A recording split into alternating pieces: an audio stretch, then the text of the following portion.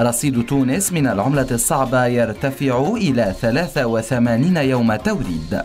أفاد مصدر رسمي من البنك المركزي التونسي يوم الأربعاء الفارط أن رصيد تونس من العملة الصعبة ارتفع إلى حوالي 83 يوم توريد بعد أن بلغ في الثلاثين من أكتوبر المنقضي 73 يوما وأرجع المسؤول بالبنك المركزي هذا الارتفاع إلى تعزز خزينة الدولة بقرض قدره 500 مليون يورو تمكنت من تعبئته إثر خروجها للسوق المالية وللإشارة فقد تمكنت تونس في الرابع والعشرين من أكتوبر المنقضي من تعبئة 500 مليون يورو في إطار جولة ترويجية قام بها وزير المالية رضا شلغوم ومحافظ البنك المركزي التونسي مروان العباسي بأهم الأسواق المالية العالمية